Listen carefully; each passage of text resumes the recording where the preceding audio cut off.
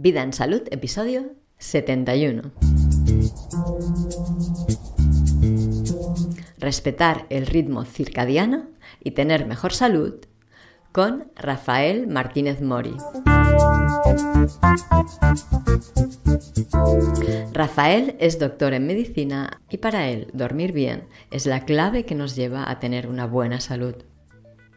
En este episodio nos explica por qué y nos da pautas para conseguir mejorar la calidad de nuestro sueño.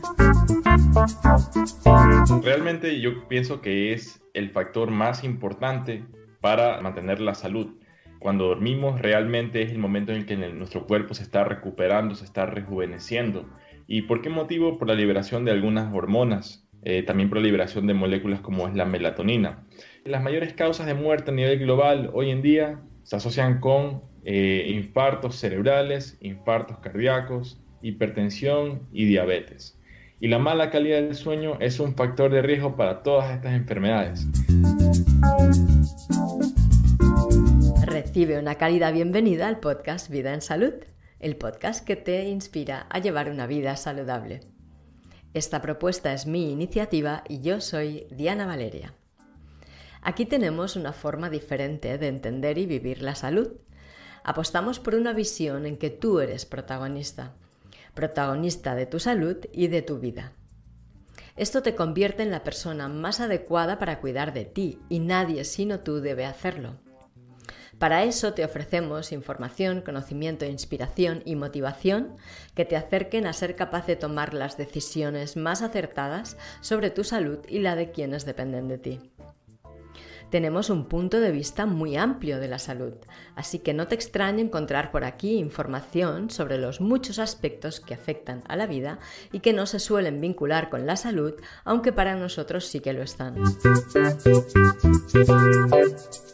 En realidad, si uno busca en los buscadores de artículos científicos, en Google Scholar, uno puede poner insomnio y cualquier otra enfermedad y va a encontrar que es un factor de riesgo.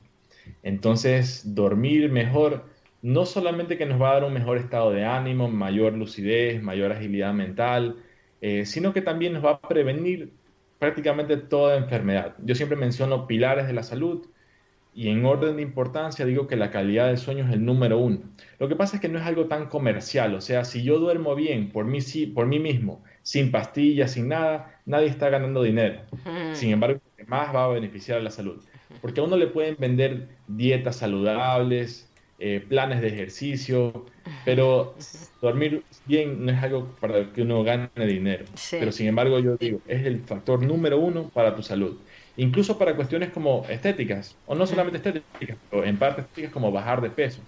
Si uno quiere bajar de peso, obviamente tiene que comer mejor y tiene que hacer ejercicio. Pero si no duerme bien, la liberación de hormonas como la insulina, como la grelina, como la leptina va a estar disregulada y bajar de peso no se va a hacer para nada fácil. Entonces, para mí, pilares de la salud, número uno, dormir mejor. Y luego de ellos, casi en el mismo orden de importancia, eh, entre estos, eh, la calidad de la alimentación, el ejercicio eh, y el manejo del estrés. Entonces, dormir mejor, calidad del sueño, perdón, dormir mejor, ejercicio, alimentación, manejo del estrés son algunos de los factores más importantes para tener salud. Y recordemos que la, la salud, según la OMS, Organización Mundial de la Salud, la salud no solamente es la ausencia de enfermedad, sino alcanzar el máximo potencial, un estado de completo bienestar físico, mental y social. Entonces, para decir que estoy saludable, no es suficiente decir no estoy enfermo. Se supone que yo debo estar al máximo de mis posibilidades. Eh, hay cosas que uno puede hacer para dormir mejor. Parte de mi trabajo es difundir eh, cuáles son estas estrategias.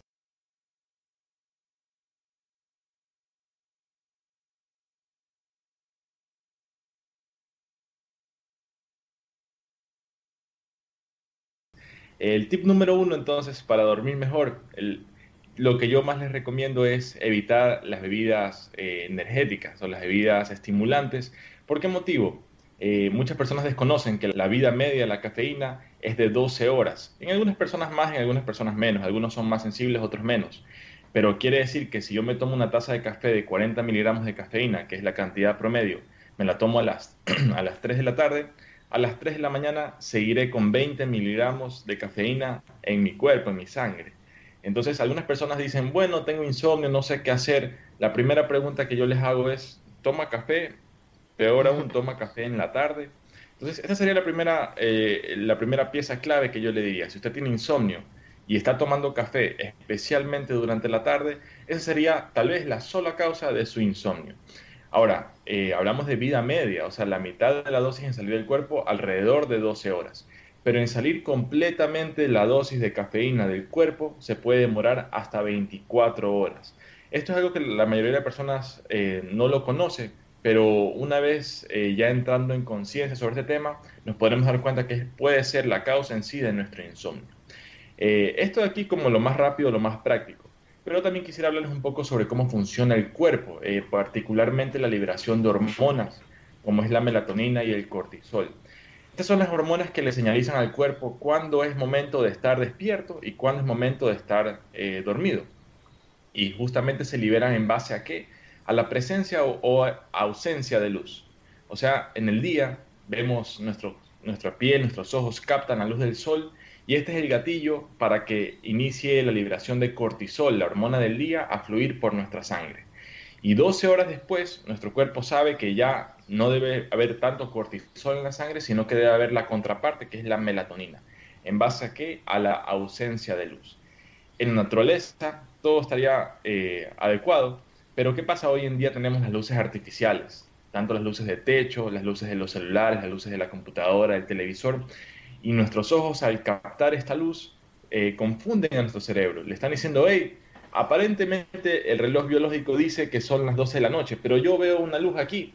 Eh, y entonces la liberación de melatonina no va a ser óptima como podría haber sido si es que no nos estuviéramos exponiendo a estímulos luminosos. ¿A partir de qué hora? Yo lo que recomiendo es eh, comenzar a apagar las luces o al menos utilizar luces de menor luminosidad eh, alrededor de las 7, 8, 9 de la noche, como mínimo unos 40 minutos antes de dormir, porque es más o menos lo que el cuerpo necesita para poder eh, adaptarse ya a este, a este, este, cambio en la luminosidad. Entonces, tip número 2 para dormir mejor es regular nuestra, nuestro ritmo circadiano, como se le llama. O sea, en la mañana exponernos a la luz de las 8 de la mañana, de las 9 de la mañana, porque esto genera que el cuerpo sepa que es momento de liberar cortisol y 12 horas después tendrá que liberar en cambio la melatonina. Y para fomentar esta liberación de melatonina, no exponernos a luces, especialmente luces, eh, de, luces intensas o luces de color azul, por ejemplo, las luces del, del televisor, las luces de la computadora, muchas veces tienen este espectro de luz azul, que es el que parece que interrumpe en mayor medida la liberación de melatonina. Otra cosa muy importante es cuando las personas se levantan en la madrugada y no pueden volver a dormir. Eh, yo le diría algo muy importante. Si es que yo me levanto en la madrugada y me pongo a revisar qué hora es, o me pongo a pensar en los problemas que tuve el día anterior, las cosas que tengo que resolver el día de mañana, entonces el cerebro se pone en actividad, se pone a pensar y esto va a generar un cambio en la actividad del cerebro, lo cual nos va a hacer más difícil volvernos a quedar dormidos. Entonces, tip número 3, para dormir mejor, para mí sería, si uno se levanta en la madrugada, no ver el celular, no ver qué hora es, no prender la luz, no ponerse a pensar mucho en las cosas que han ocurrido, que van a ocurrir, porque esto despierta el cerebro y realmente no se lo recomendaría. Entonces, de la mano con esto, no tener un reloj en el sitio donde yo duermo. Porque si me levanto, casi por instinto voy a querer ver qué hora es. Pero en este ver qué hora es, me voy a poner a hacer cálculos matemáticos. ¿Cuánto tiempo he dormido? ¿Cuánto tiempo me queda por dormir? y todo esto va a despertar eh, realmente a mi cerebro. Sí, esos serían algunos de los tips eh, muy importantes que yo le recomendaría al momento de dormir. Tengo dos preguntas sobre esto que has comentado. Has hablado del café, pero hay personas que tienen el hábito de tomar té. Claro. ¿Sería lo mismo o un poco más suave porque tiene menos cafeína, aunque también tiene teína? No sé. ¿Qué dirías sobre esto?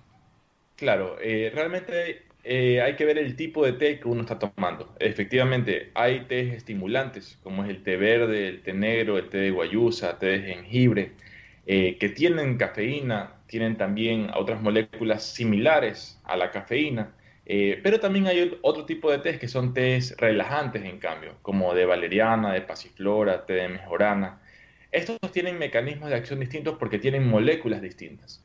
las moléculas de la cafeína y las que son similares a la cafeína se acoplan a unos receptores que se llaman receptores de adenosina en el cerebro, los cuales al ser estimulados estos receptores le dan una señal de cansancio al cerebro. Eh, pero cuando la cafeína y las otras moléculas similares bloquean estos receptores, la señal de cansancio no va a poder ser enviada de manera efectiva. Por el contrario, los test relajantes, como de valeriana, de hierba luisa, de pasiflora, tienen un efecto de disminución de la actividad cerebral. ¿En qué sentido? En que facilitan la entrada de iones eh, eléctricamente cargados negativos. Eh, entonces, en términos prácticos, ¿qué va a hacer esto? Va a hacer que las neuronas no estén tan activas como pudieran haber estado. Hay otra pregunta que te quería hacer, sobre no, no tener un reloj cerca. Entonces, si necesitamos un despertador para despertarnos por las mañanas para ir a trabajar, ¿qué solución propones si esto es necesario? Bueno, eh, depende cuán, cuánto yo me quiero involucrar. Hay incluso aplicaciones para el celular, hay despertadores especializados que eh, van en un ruido de menor a mayor intensidad o prenden una luz de, mayor, de menor a mayor intensidad. Eh, yo pienso que lo mejor sería no necesitar un despertador para yo despertarme. O sea, lo ideal sería que mi cuerpo descanse lo necesario. ¿Cómo yo puedo hacer esto si de repente me tengo que levantar siempre muy temprano? la solución realmente sería dormirme más temprano para poder cumplir de 7 a 9 horas, que es lo que los estudios nos dicen que se necesita realmente. Hay personas que pueden trabajar, funcionar adecuadamente con menos, otras con más necesitan, pero en un promedio de 7 9 horas. Eh, yo, mi opinión en cuanto a los despertadores graduales o las alarmas graduales, pienso que es una herramienta, pero no pienso que sería tan importante como realmente dormir las 7 a 9 horas. Entonces, si es que alguien necesita un despertador, yo sí le diría, en la medida de lo posible, tratar de dormirse más temprano para que su cuerpo se levante de manera automática. Eh, es muy importante que el ritmo circadiano de liberación de hormonas eh, se regula eh, constantemente. O sea, yo necesito, en términos ideales, dormirme y despertarme siempre a la misma hora. Entonces, sería lo ideal que yo me vaya acostumbrando a una hora determinada para irme a dormir. Mi cuerpo ya va a saber que es mi hora de dormir y de esta manera se me va a facilitar más eh, poder quedarme dormido. Sí, claro, sería lo, ideal en, realidad. Pero claro, como llevamos esta forma de vida así como tan ajetreada y tan atrapada, muchas personas necesitan acostarse más tarde de lo que en realidad deberían. Y así eh, sí, Es que también el, realmente nuestro cuerpo no sabe la diferencia entre un viernes y un martes. O sea, los viernes, los sábados, por lo general, nos quedamos viendo televisión, nos vamos a alguna fiesta. En cambio, los días de entre semana tratamos de dormirnos más temprano, pero no podemos. ¿Por qué? Porque de repente nos queremos dormir temprano un martes, pero el sábado estuvimos en una fiesta hasta las 2 de la mañana. Mm. Entonces, esto va a confundir a nuestro cuerpo. Eh, entonces sería realmente importante, eh, más que nada, informarnos. Al informarnos podemos tomar mejores decisiones, decisiones informadas sobre cómo funciona nuestro cuerpo y de esta manera eh, poder estar mejor. Ya, o sea, de alguna manera es mejor llevar un como un ritmo que sea siempre el mismo o muy parecido. No hacer de golpe y porrazo, pues irte a dormir a las 5 de la madrugada porque has estado de fiesta. Claro por ejemplo, cada fin de semana. Porque si, por ejemplo, lo haces una vez al año, que haces una fiesta familiar, no sé, lo que sea, o una fiesta, ¿no sería tanta influencia o igualmente? Claro, justamente eh, es, bien interesante la pregunta. Eh, yo, yo opino que todo depende por cuánto tiempo de mi vida yo pienso hacer algo que yo sé que no me conviene. Dormir mal una noche pues no me va a generar posiblemente, a menos que me ponga a manejar, porque manejar con sueños sí se ha demostrado que es casi tan peligroso como manejar en estado etílico. Pero en todo caso, a nivel de mi salud, no creo que vaya a ser catastrófico una noche, ni dos noches, pero si ya yo extiendo un periodo de mal sueño por meses, por años, esto definitivamente va a generar efectos perjudiciales en mi salud. Eh, por ejemplo, hay personas que por motivos de trabajo, por motivos de estudio, tienen que, eh, en medicina, por ejemplo, que aquí en mi país eh, un año es obligatorio antes de graduarse hacer guardias de 24 horas. Y esto, digamos que uno lo puede soportar por un año, probablemente no le va a generar un efecto mayor en la salud.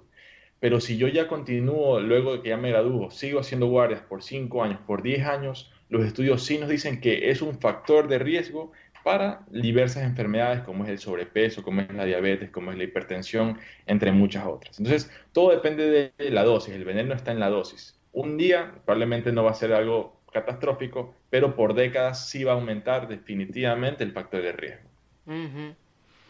Sí, seguramente de muchas culturas, de muchos países o de muchas zonas geográficas que se han ido desarrollando, naturales en el ser humano, no como ahora que son impuestas, sino antes, cuando eh, surgían de la comunidad, ¿no? Había alguna noche que se hacía algún tipo de ritual que implicaba toda la noche de vela. Yo tiendo a tener mucha, mucho respeto por este tipo de legado que viene de la observación de la naturaleza, tanto humana como externa, y siempre pienso que hay algún motivo para todo lo que nos llega desde ahí, ¿no? Sí, son cuestiones eh, culturales eh, y siempre es importante respetar, pero también es importante analizar. Toda cultura tiene aspectos favorables y desfavorables. Mm. En nuestra cultura yo veo, también es parte cultural esto de tener las luces prendidas en la noche, irse de fiesta hasta horas muy tardes en la, en la madrugada. Eh, y todo es cuestión de hacer un autoanálisis ¿por qué estoy haciendo esto? ¿Realmente me conviene o será que no me conviene y me estoy, me estoy dejando llevar por la manada? O sea, eh, ser muy autoconsciente de qué es lo que estoy haciendo y por qué lo estoy haciendo. Eso yo... Y a dónde me conduce, ¿verdad? Sí. Así es, sí, sí, sí. Un tema también eh, que me vino a la mente, que muchas personas se preguntarán, es el tema de las siestas. Ah, sí. Si tomar siestas es bueno, es malo. Eh, bien, depende si es que yo tengo que dar algún examen o quiero estar más despierto, sí me va a ayudar, sí me va a ayudar la siesta. Pero en términos generales, eh, a nivel teórico al menos, sí se plantea que si yo duermo por más de 40 minutos en una siesta, sí voy a tener una liberación de melatonina suficiente para eh, confundir un poco mi ritmo circadiano. O sea, si es, que, si es que yo tomo siestas y duermo la noche de manera normal, no habría problema. Pero si es que yo tengo problemas para dormir, tengo insomnio, me despierto con facilidad y estoy tomando siestas, la siesta también podría potencialmente ser algo perjudicial. Explico un poco el mecanismo de por qué, por qué esto ocurre. Em, durante el día nosotros vamos consumiendo energía, lo que se llama ATP, adenosíntrifosfato. La molécula de dónde viene? Viene del oxígeno que respiramos y de los carbohidratos que comemos, el cuerpo los desdobla y se forma el ATP. El ATP cuando se va consumiendo eh, libera un metabolito, que es la adenosina. Y esta adenosina a lo largo del día se va acumulando en el cerebro. Cosa que al final del día tendré altas concentraciones de adenosina en el cerebro. Esta adenosina es la que, es la que se acopla, les comentaba, a los receptores de adenosina, dándome una señal de cansancio. La cafeína bloquea estos receptores. Por lo tanto, yo puedo estar cansado fisiológicamente, pero no me doy cuenta porque la cafeína está bloqueando. ¿Qué es lo que pasa cuando yo duermo? Estoy limpiando o metabolizando, depurando esta adenosina. Lo ideal es que esta depuración de adenosina sea durante la noche, para que el día siguiente me sienta despierto. Pero ¿qué pasa si yo me duermo dos horas en la tarde? Pues habré limpiado cierta cantidad de adenosina de mi cerebro y cuando llegue la noche la cantidad no será, tal, no será tan alta. Por lo tanto, no estaré tan cansado y dormir se me podría potencialmente ser más difícil. Y, e insisto, todo es cuestión de darse cuenta cómo responde el cuerpo de uno. Hay personas que pueden tomar café y se quedan dormidos. Hay mm. personas que pueden tomar siesta y se quedan dormidos. Entonces diría, bueno, eh, uno tiene que ver cómo su cuerpo responde, pero si que tengo insomnio, tengo problemas para dormir y tomo siestas, esa puede ser la causa. Si que tengo insomnio, tengo problemas para dormir y tomo café, esa también puede ser la causa. Entonces nuestra labor aquí, yo considero, es informar para que las personas puedan eh, tomar cierto nivel de conciencia de estos aspectos un poco técnicos, pero que es importante saberlos porque eh, hablan de cómo funciona nuestro propio organismo. He oído decir que los ancianos, cuanto más edad vas ganando, menos necesidad tienes de dormir horas seguidas y más necesidad de dormir ratitos, o sea, de partir el tiempo del sueño a lo largo del día y la noche. Claro. Bueno, eh, lo que sí es definitivo, todos los estudios nos indican que a mayor edad, menor liberación de melatonina. Eh, por lo tanto, el sueño del adulto mayor eh, es más super, o sea, no, es más fácil despertarlo, es más difícil conciliar el sueño. de lo que yo tengo entendido, no es que la necesidad de horas de sueño disminuye, permanece, pero la melatonina sí disminuye. Por lo tanto, llegar a este nivel no va a ser tan fácil. Yo me pregunto también eh, por qué será que el cuerpo eh, genera este tipo de alteraciones conforme avanza la edad. La explicación que a mí me satisface es que nuestro cuerpo está diseñado para nacer, crecer, reproducirnos, estar vivos lo suficiente para que nuestros hijos lleguen a una edad reproductiva y luego morir. O sea, si es que yo llego a los 30, 35 años, ya se supone que tengo una edad para que mis hijos hayan llegado a una edad al menos adolescentes, ya tengan una, edad reproductiva. ¿Qué quiere decir esto? Que el cuerpo dice, bueno, o la biología dice, bueno, ya mi rol biológico fue cubierto. O sea que lo que tenga que vivir aquí para adelante, ya evolutivamente, ya, mm, o sea, humanamente tiene motivo, claro que tiene motivo, pero evolutivamente nuestra función ya fue cubierta. Por lo tanto, a partir de esta edad, 35 años, 40 años, muchas funciones del cuerpo, como la liberación de melatonina, la liberación de la testosterona, la liberación de los estrógenos eh, y en muchas cascadas biológicas van disminuyendo. Y junto con esto, el aumento en la prevalencia de diversas enfermedades. Entonces, en conclusión, en cuanto a esta pregunta, el adulto mayor libera menos melatonina. No parece ser que la cantidad de sueño que necesite sea menor. Eh, ¿Qué yo le recomendaría? Principalmente dormir en un cuarto completamente a oscuras. Mientras más oscuro es el cuarto, más, melatonina voy a liberar. Hay también la opción de suplementación con melatonina. También hay cápsulas de melatonina. Eh, eso ya sería algo que tendría que consultar con su médico particular. Eh, hay quienes están a favor, hay quienes están en contra. Yo digo que sería una opción para considerar. Hay también otro tipo de pastillas que son eh, inductores del sueño, y ya son bajo receta médica su venta y tienen potencialmente muchos más efectos adversos. Entonces, si yo tengo problemas para dormir, eh, habría que ver qué opción es la que menos efectos adversos me va a proporcionar. Eh, evidentemente, una benzodiazepina que muchas personas consumen para dormir tiene mucho más efectos adversos que una melatonina exógena, que tampoco es que eh, sería lo ideal. Lo ideal sería dormir sin ninguna ayuda, pero en el caso que lo necesite, ver el menor de los males. Sería una opción a considerar con su médico particular. También otra cosa que he oído bastante es el hecho de que las hormonas y el sistema neuronal están muy vinculados a la microbiota y que las disbiosis ah, alteran muchísimo también eh, cualquiera de estos dos sistemas y pueden también alterar eh, los procesos del sueño y el hecho de que una persona eh, esté viviendo cuantos más años con disbiosis sin ponerle remedio, más efectos eh, contrarios tiene. Claro, el tema de la microbiota mm. es sumamente interesante. es lo que entra en lo que se está llamando la medicina personalizada. O sea, hoy en día se sabe que eh, lo ideal sería estudiar a cada persona para determinar cuál será el mejor esquema terapéutico a nivel individual.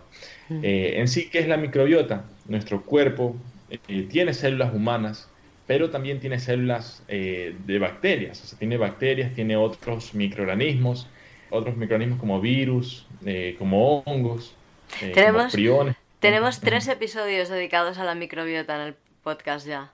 Sí. es sumamente interesante el tema de la microbiota.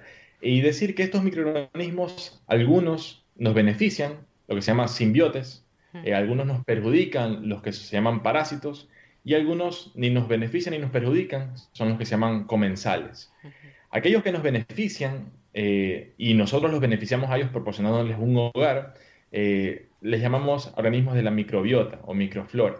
Esta microflora la tenemos en diferentes sitios del cuerpo, eh, en la piel, pero particularmente en los intestinos. Es donde más, eh, más estudio eh, está llevándose a cabo a partir de, estos microorganismos. Entonces, se habla de muchas funciones, entre ellas ayudar a producir neurotransmisores, ayudar a producir vitaminas, favorecer la digestión y absorción de alimentos. Entre todos estos temas también hay un rol en cuestiones del índole mental, como el estado de ánimo, como la calidad del sueño. Entonces, es un punto muy interesante a tomarlo en cuenta una vez que yo he descartado otras, otros aspectos más prácticos. O sea, yo diría, claro que es interesante y, es importante, pero yo no creo adecuado ponerme a investigar sobre mi microbiota si sigo tomando café en la tarde, si sigo con luces prendidas en la noche. O sea, yo diría que si yo ya he, como una pirámide, la base de la pirámide, yo, si yo eh, todavía tengo falencias en la base de la pirámide, ponerme a concentrar en la cúspide, que sería la microbiota, no creo que sería lo más adecuado. Claro. entonces sí, es un, es un factor. Eh, sin embargo, hay cosas prácticas que pueden tener una importancia mucho mayor en el tema calidad del sueño. Eso es lo que yo eh, diría en este momento sobre el tema microbiota, sí.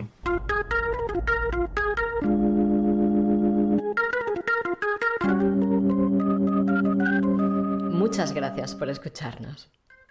Gracias por participar, por tus sugerencias, por tus likes y comentarios, por compartir los episodios del podcast. Gracias por estar dándole sentido a Vida en Salud. Y gracias también a KidsFlux por la cesión de las melodías del programa. ¿Te gustaría mantenerte en contacto con las novedades de Vida en Salud? Con estas novedades que te he comentado, en las que compartimos camino, pues suscríbete en vidaensalud.es barra suscripción. Y así podrás recibir mis boletines en los que eso comparto contigo historias que pueden ayudarte a acercarte a la visión en la que tú puedes gestionar mejor tu salud. En todas las dimensiones que contemplamos aquí en el podcast, claro. Y bueno, parece ser que este va a ser el último episodio del año. Así que déjame que te desee una muy buena salida de este año que vamos a terminar y una excelente y esplendorosa entrada al nuevo año. Y déjame que te diga también que parece ser que este año que vamos a empezar va a ser un año que nos va a colocar frente a nuestros límites, pero muy en serio. Ya iremos hablando durante el año sobre esto. Feliz año nuevo y que tengas un buen repaso de este año que ha terminado. Hasta la próxima.